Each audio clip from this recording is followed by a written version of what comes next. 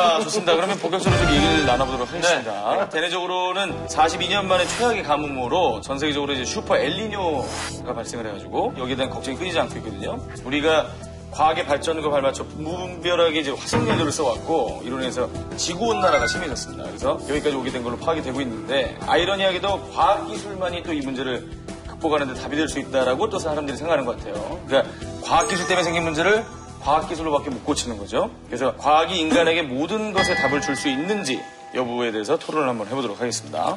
자, 스위스 국제경영개발원에서 해마다 세계 각국의 경쟁력을 발표하는데 2014년 기준 한국이 과학 인프라 경쟁력 부문 6위를 차지했습니다. 높네요. 과학 인프라는 연구 개발 투자, 연구 개발 인력, 지적 재산권 등 관련 지표 23개를 바탕으로 조사한 것인데요. 7위 중국, 오, 14위 캐나다, 오. 20위 노르웨이, 21위 이탈리아, 35위 폴란드, 37위 브라질, 39위가 그리스가 차지했습니다. 음.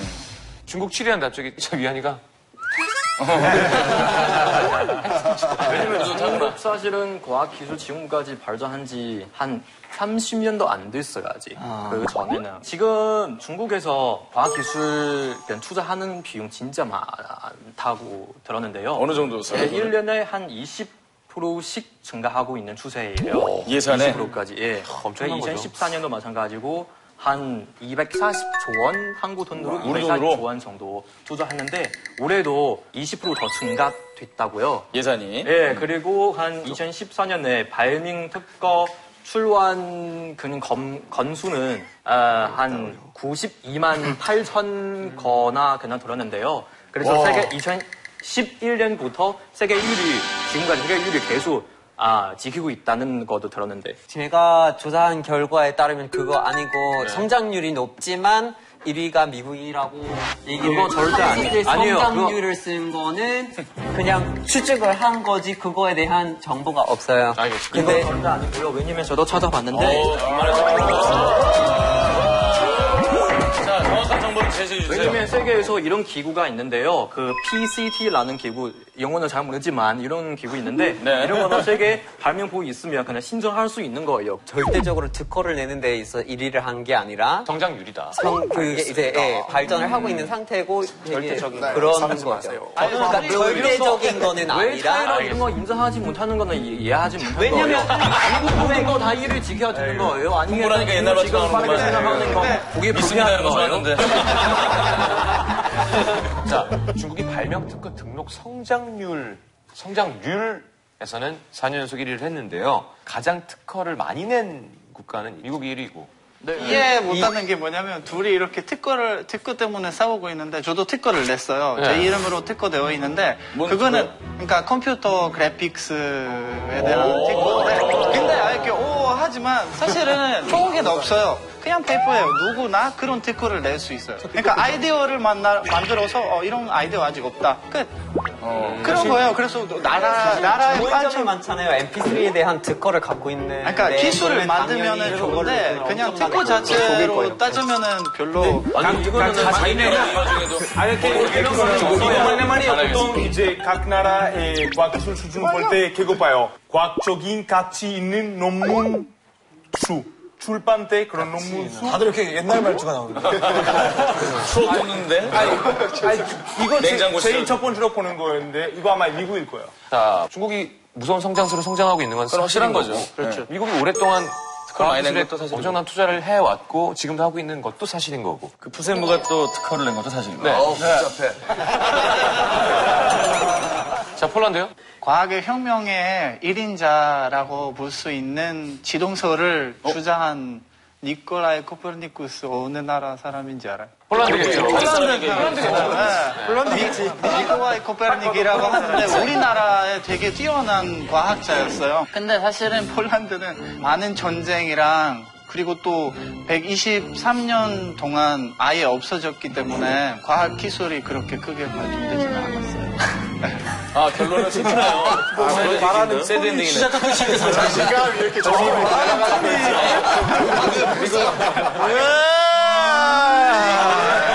어, 슬픈 거 사실 니콜라이 코페르니코 폴란 사람이지만 이탈리아에서 학교 다녔어요. Nicolai Copernicus 바도바, 아, 바도바 대학교 출신이에요. 저 이탈리아 대학교 출신. 그렇다고 치면은 거기에서 뭘 공부했는지 알아요? 뭐요? 의학이랑 법학. 그러니까 전문학을 폴란드에서 되게 유명했어요 그 당시. 그래서 전문학을 폴란드에서 공부하고 거기에서 의학 공부한 거예요. 그러면 아예 그 알면서 공부하는 상관 없어요? 거랑 천문학은 폴란드에서 배웠다는데? 아, 그건 모르죠. 옛날 일인데. 야, 근데 이거 어떻게 보면 저희도 지금 슬픈 얘기예요. 왜냐면 네. 과학적인 가치 있는 논문 수 보면 이탈리아 바로이에요. 오. 근데 문제가 그 과학 분야에 투자 제일 안 해요. GDP의 1.1%만 투자하는 거예요. 그거에 지원이 거의 없구나. 그러니까 이제 대단한 사람들이 되게 많은데 그 나라에서 지원이 없으니까 다 미국으로 가요. 어. 또 슬픈 얘기 있는데 이탈리아 바비아 대학교가 전 세계적으로 가장 빠른 데이터 전송 기록이 있어요. 음. 1초 1000기가 이상 그렇게 전송하고 있는데 1초에? 1초에. 근데 문제가 전 세계적으로 가장 빠른 인터넷 한국이잖아요. 네. 저희가 30, 30위도 안 돼요. 어. 그러니까 기술이 있는데 일반인들이 그렇게 쓸 수가 없어요. 그러니까 시스템적으로 지원이 안 그런 모순들이 되게 많아요. 맞아, 거기서 핸드폰 되게 느리대. 네. 1초에 천기가 보낸 뭐하냐? 자, 각 나라에서 이제 특히 집중하고 있는 과학 분야가 또 있을까요? 노르웨이에서는 재생 가능 에너지에 되게 집중하고 있어요. 특히 수력이랑 풍력으로 많이 뭐 개발해서 에너지를 만드는데 우리 옆에 있는 스웨덴도 이런 에너지에 많이 뭐 연구했는데 스웨덴의 재미있는 것은 그 공공시설에 많은 버스는 원료는 똥이에요. 똥, 예, 버스, 버스 안에. 진짜? 네, 사람의 똥이에요. 사람 똥? 버스가? 네. 공공 그냥 버스요? 네. 버스가 똥으로 간다고요? 네네. 인분. 그건 그 하, 하스, 하스도 있잖아요. 냄새 좀 나겠네, 버스 가면.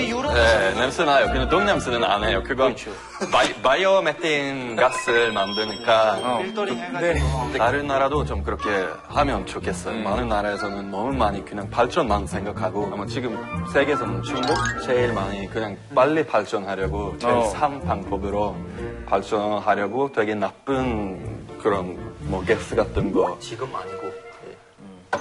지, 지금 안 해요. 예, 둘이 뭐 하시는 거예요? 얘기했어요. 뭐지? 드라마 지금? 지금 우리 국가 총리 리크지앙라는 사람인데 이런 말 했어요. 예, 중국 정부는 이산화탄소 배출량이 오는 2030년 최고점을 찍고 감소제로 돌아서 도록 최선을 다하겠습니다라는 말도 있는데 그때 그러니까 2030년에 계속 올라가서 최고점을 찍어요. 왜냐면 그거는 2030년까지 계속 쓰겠다. 지금 당장 안 쓰면 중국 완전 망할 수 있잖아요. 그래서 일단 온실가스 검수 있는 그냥 산업 기, 기업에게 투자하고 나중에 새로운 기술도 발전할 수 있게 이런 정책도 있다고 해요. 사실은 유럽의 야, 이런 나라 이름 뭐예요? 나이지리아, 나이지리아.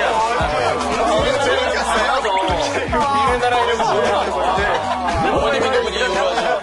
뭐 진짜 선진 선진 기술 진짜 많았는데 근데 우리한테 안 팔아줘요. 우리 빌려 주지도 않고 이런 데는 우리 발전도 해야 되니까 다른 방법 없죠. 알겠습니다. 알아서도 저에게 관심을 해주시면 제가 좀 기술 다 빌려줄게요.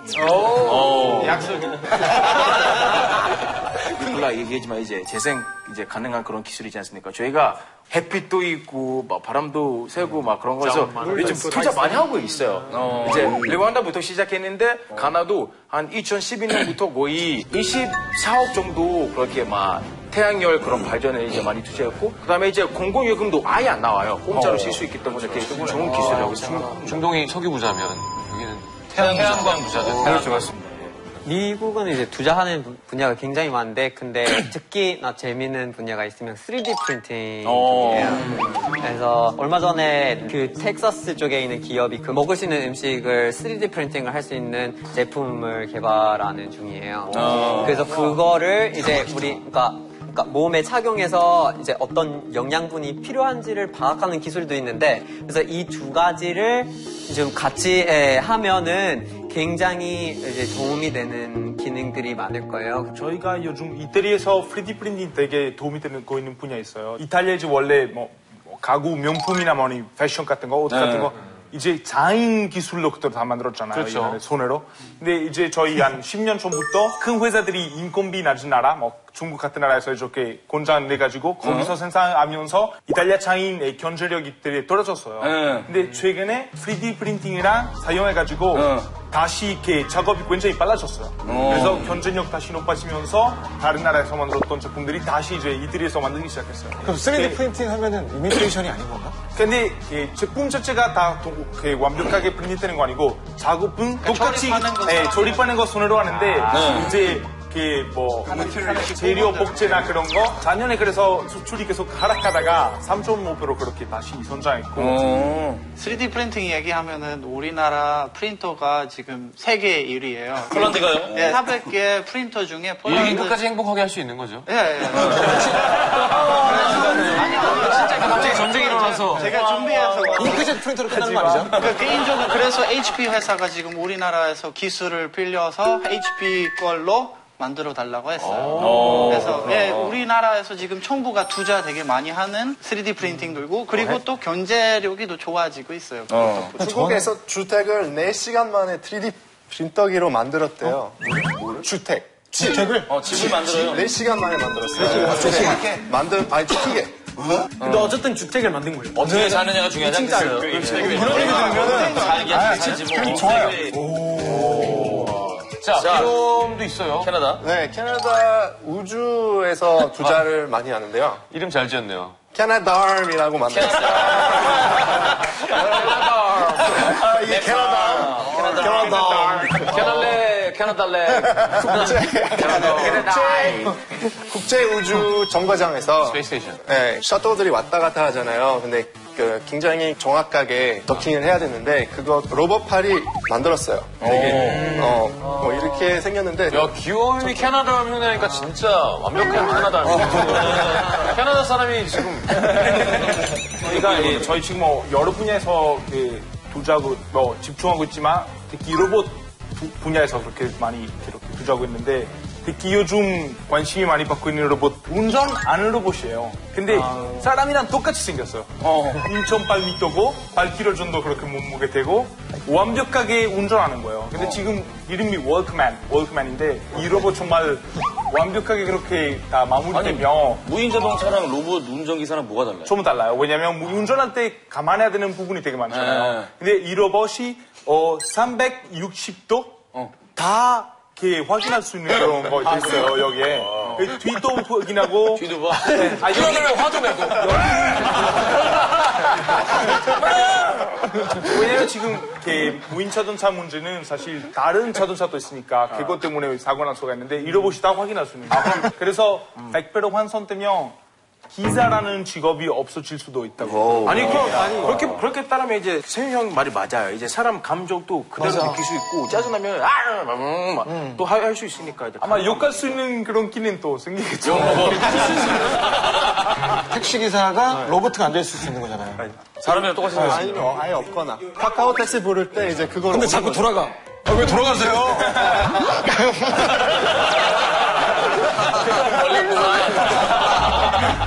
에서도 이상 호텔을 나는 호텔을 오픈했는데 거기 70% 업무를 로봇가 해요. 어. 그래서 막 나중에는 90%가 다 로봇이 어디, 어디서? 호텔에 호텔이 뭐 무인 호텔. 다 로봇이 할 수도 있다고 막 그런 기사가 있었어요. 자, 그리스는 무슨 문어가 있어요? 이거 문어 로봇 만들었어요 그래서 왜, 왜? 왜 오징어가 아니라 문어였다고? 근데 먹을 수 없어요 근데 저기 안에 문어에서 카메라 있어가지고 저희 자연스럽게 생태계를 생- 생생히 볼 수 있어요 아. 그래서 그렇게 자연스러운 움직하니까 서담용, 서담용. 걔네들은 움직하니까. 그래서 그런 왜냐면 다이브를 쓰면 어이씨 배워야겠다. 무- 물고기 도망가지 무서우니까. 그렇죠 도망가니까 근데 이런 자연스러운 문어에 있어서 다른 물고기나 아 친구이다 그래서 같이 이렇게 모이고 자연스럽게 볼수 있어서 그래서 생태계를 잘 관찰 관찰하려고. 어, 귀엽네요. 문어, 생태계 확인을 위한 문어 로봇. 미국 미국에서는 이제 로봇을 많이 개발하는 군대가 있으면 그게 이제 MIT가 될 수 있겠는데요. 그 일본의 후쿠시마 그 사태를 보고 어. 재난 구역에 투입할 수 있는 이런 거 필요하겠다 그래가지고 그래서 이제 지타라는 로봇을 개발해서 이제 시간당 8km 그렇게 이제 45cm의 장애물을 뛰어넘을 수 있어요. 그래서 그런 이제 그 영상들이 나와 있는 봤어, 봤어. 개 아니었어요? 아니 그러니까 뛰다가 그렇게 생긴 네 그렇게 생긴 거. 근데 이게 우리 김상배 교수 팀이 만든 거라고. MIT에. 네, 거기 한국인이도 들어가 있어요. 네. 그 팀에. 거기서 실험도 했어요. 사람과 로봇의 관계에 대해서 요즘들 맨- 많이 생각하잖아요. 그래서 MIT에서 실험을 했는데 네. 팀을 구성해가지고 그 팀 안에 사람도 있고 로봇도 있는 거예요. 근데 서로한테 지시를 내린 거예요. 그 결과로 만족도가 제일 높았던 지시들이 다 로봇에서 나왔던 거래요. 로봇이 인간한테 이거 해라. 그러니까, 그러니까 그 인간이 필요로 한 거를 파악해서 아, 그러면 이렇게 하라라고 이렇게 지시를 내렸던 것에 대해서 만족도가 제일 높은 게 쉽게 로봇. 말하면 로봇 부장님이 내려준 지시가 더 좋더라. 사람 부장보다. 아, 왜냐면 감격이 없으니까. 박주영 씨는 어떠실 것 같아요? 그 로봇 상사가 더 좋으실 것 같아요? 아, 로보트 보스가 사실은 더 날 수 있을 것 같아요. 어. 왜냐면은 저는 이제 예전에 어, 미국에서 뭐 80년도 때는 인종차별이 되게 많았었잖아요. 그럼 일할 때도 그랬었어요. 어. 뭐 아르바이트 같은 거 하면은 그걸 느끼게 한다고요. 뭐 딱 까놓고 그렇게 얘기하진 않아요. 돌려서. 어, 돌려서 얘기하지만 나- 뭐 예를 들어서 난 창고에서 일했었거든. 그러면 뭐 쟤네들끼리 뭐 웃으면서 나한테는 야 이거 갖고 와. 어. 제 생각인데 그럴 때는 로보트가 있으면 everyone's equal. 맞아요, 맞아요. 다 그, 그러고 감정 같은 것도 없, 그렇죠. 없고. 예, 객관적으로 근데 객관적으로. 감정 없다는 게 좋은 건가요? 예를 들어 이제 음악 만들어 주신 분은 로봇인데 그 사람보다 조금 더 잘 만들어 줄 수 있는데 근데 그 상사랑 아무 감정 없어요. 로봇이니까. 근데 약간 음. 분야에 따라서 또 달라지지 않을까요? 예를 들어서 제가 생각했는데 재무팀 같은 경우에는 사실 산사가 로봇이 완벽할 것 같아요. 근데 재무팀 영업이나 마케팅. 좀 어렵죠. 왜냐면 감정이나 뭐, 뭐 팀워킹 그런 거 필요하니까. 맞네요. 맞아요. 근데 나는 솔직히 상사가 로봇이면 저는 별로 안 좋아할 것 같아요. 왜요, 개인적으로. 왜냐면은 우선 만약에 진짜 회사 CEO까지 가자면은 그냥 단순히 그 직원들한테 어떤 명령을 내릴 뿐더러 어떤 회사 어떤 대한 방향 같은 것도 잡아야 되고 어떤 혁신성도 필요하잖아요. 근데 그거는 로봇 아직까지는 글쎄요 이루지는 그렇지 않다. 제가 말했을 때는 그냥 디렉터. 어, 지시하는 사람. 회식에 부르면 안 되죠. 아, 로봇 역시 어떻게 해. 무슨 뭘 하냐. 술다 똑같이 따라 줘. 자, 술못 먹습니다. 아니, 못 먹는 애가. 근데 그래도 메탈 한 조각에 노예되고 싶지 않아요. 음.